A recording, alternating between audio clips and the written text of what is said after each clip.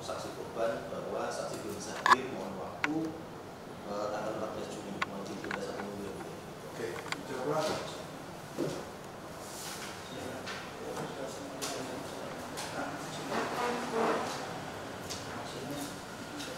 Iya. Oh, enggak, iya, iya. Sebentar, sebentar. Eh, sebentar dulu, sebentar dulu silakan betul. Ini untuk untuk arsip di berkas sebentar saya beri kesempatan kepada penasihat hukum terdakwa. Cuma ada Saya sih ya jalanin aja siap siap berjuang untuk hak dan kebenaran saya. Yang penting saya dipanggil, saya sudah patuh, saya sudah hadir. Yang pertama kita mempertanyakan ya ketidakhadiran Nicholas Sen di dalam agenda pemeriksaan saksi korban. Artinya apa? Ini pertanda ketidakkonsistenan saksi korban untuk membuktikan fakta yang sebenarnya. Kalau memang dia ragu nggak usah hadir seperti itu. Dengan alasan keluar kota tersebut, saya kira bukan menjadi suatu hal faktor yang penting seperti itu. Yang lebih penting yang lebih penting itu adalah pro justitia untuk keadilan dan untuk hukum. Panggilan hari ini adalah panggilan resmi negara kepada saksi korban tadi. Kalau memang bisa dengan alasan keluar kota, ya tentunya kita juga eh, eh, apa melakukan suatu hal aktivitas lain bisa kita kesampaikan persidangan ini. Di situ kita meminta penegasan agar persidangan ini tetap dihormati dan menjunjung tinggi rasa keadilan yang ada. Seperti itu. Nah, terus yang kedua, kenapa saya keberatan tadi dan hampir terjadi perdebatan dan keributan sedikit? Karena apa? Karena surat yang diajukan jaksa penuntut umum tersebut juga diterima oleh majelis hakim. Sudah sepatutnya juga surat yang kita berikan juga harusnya diterima juga untuk adanya keseimbangan dan keadilan bersama. Mengenai pemeriksaan surat, saya minta tadi untuk dilakukan minggu depan di hadapan saksi korban langsung. Surat-surat tadi. Kalau perkara ini mau fair, ya, baik bukti daripada pelapor maupun bukti dari terlapor, ya, harus sama-sama dilihat dan didengarkan. Jangan satu pihak. Karena banyak bukti-bukti kita seperti adanya petunjuk tentang visum, ya, adanya foto CCTV, ya, adanya bukti-bukti percakapan. Nanti akan kita ungkap di persidangan. Kalau itu ditolak oleh majelis hakim, bagaimana hak-hak terdakwa untuk menyampaikan ataupun mengungkapkan kebenaran materialnya? Kita di sini kan bukan untuk mencari pembenaran, tidak. Akan tetapi mengungkap fakta yang sebenarnya dan mencari kebenaran material. Siapa di sini yang paling bersalah gitu loh? Walaupun status Ayu Italia sebagai terdakwa, belum tentu dia sebagai terpidana. Ini harus dipahami. Dan perkara ini masih abu-abu.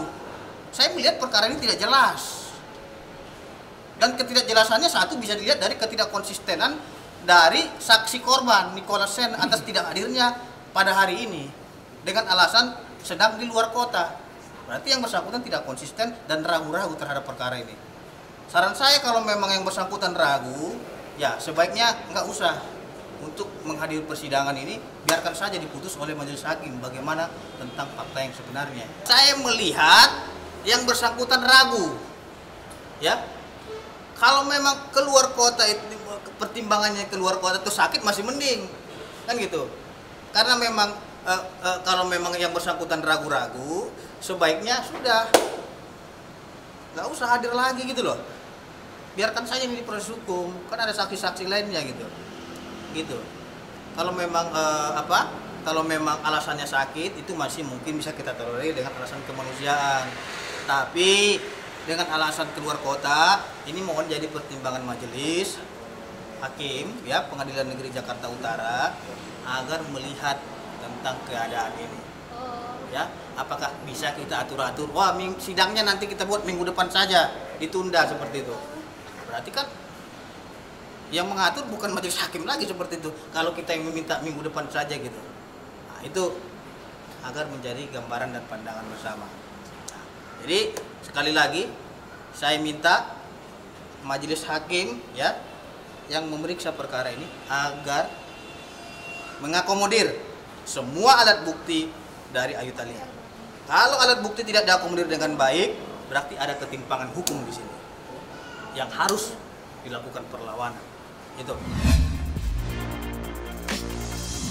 Kalau Kita tidak hari ini? pernah berkomunikasi dengan yang bersangkutan karena kan yang bersangkutan sudah menyerahkan ke proses hukum. Yang bersangkutan juga sudah sudah menyerahkan kepada pihak pengadilan. Biarkan saja pihak pengadilan yang mengadili ini dan memeriksa ini. Saya hanya berharap bukti-bukti yang kita miliki harap diakomodir dan diterima oleh Majelis Hakim Pengadilan Negeri Jakarta Utara ini agar fakta yang terungkap, agar kebenaran material ini dapat dilihat secara keseluruhan. Kalau bukti yang diter- yang diajukan oleh Ayu Thalia itu tidak diterima oleh majelis hakim, berarti something wrong, ada yang bermasalah di sini, ada sesuatu. Maka dari itu, ya saya sampaikan, mohon kepada majelis hakim, ya yang terhormat, yang kami muliakan, agar bukti-bukti Ayu Thalia, ya bukti surat dia, tolong diterima dan diakomodir dengan baik. Kalau minggu depan bukti saudara Ayu Thalia tidak diterima dan diakomodir dengan baik, berarti ada yang bermasalah di sini. Ya, ini jelas disampaikan kepada publik karena di dalam pasal 184 ayat 1 Kitab Undang Hukum Acara Pidana alat bukti itu antara lain keterangan saksi, baik itu saksi korban, saksi pelapor, ya, maupun saksi-saksi dari terdakwa, maupun keterangan terdakwa ataupun keterangan ahli dan surat. Yang kita ajukan itu bukti surat. Gitu loh. Jadi untuk itu ya saya minta juga kepada jaksa penuntut umum tolong bukti CCTV itu diperlihatkan kepada pengadilan negeri Jakarta Utara Majelis Hakim. Agar kita lihat bersama pada waktu kejadian tersebut di situ ada CCTV tolong itu dibuka. Biar tidak menjadi asumsi-asumsi. Katanya katanya nggak ada penganiayaan. Bagaimana mungkin? Tidak ada dugaan penganiayaan. Sudah luka-luka anak orang gitu.